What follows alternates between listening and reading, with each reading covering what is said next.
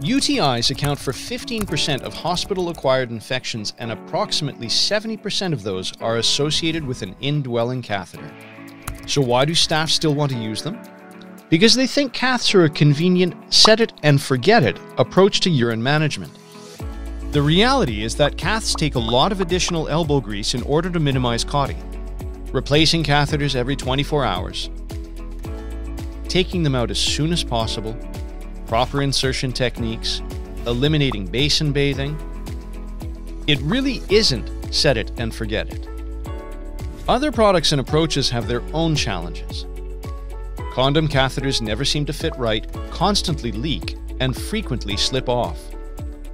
Suction powered solutions are cost prohibitive and require adhesives and pubic shaving.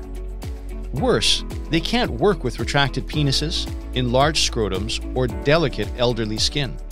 Diapers are a disaster for skin health, trapping in heat and moisture and letting urine get all over the skin, and worse, mixed with feces.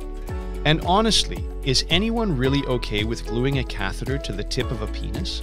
So let's change the paradigm. Let's move away from caths to something that is even easier and faster to apply, that is just as effective, that any staff is allowed to put on, that costs a fraction of a cath or other alternative, and that is patient friendly. Introducing a new concept the Quick Change Urine Management Wrap. Quick changes fold and wrap around a penis in seconds with no adhesives needed. They hold almost 750 milliliters, they're completely external, and they keep urine off the skin. Quick changes work with every patient, including those with retracted penises, with scrotal edemas, bariatric patients, burn patients, ambulating patients, bedbound patients, and chairbound patients. Even elderly men with delicate skin. There's a change coming to CAUTI. A change for the better. Quick change.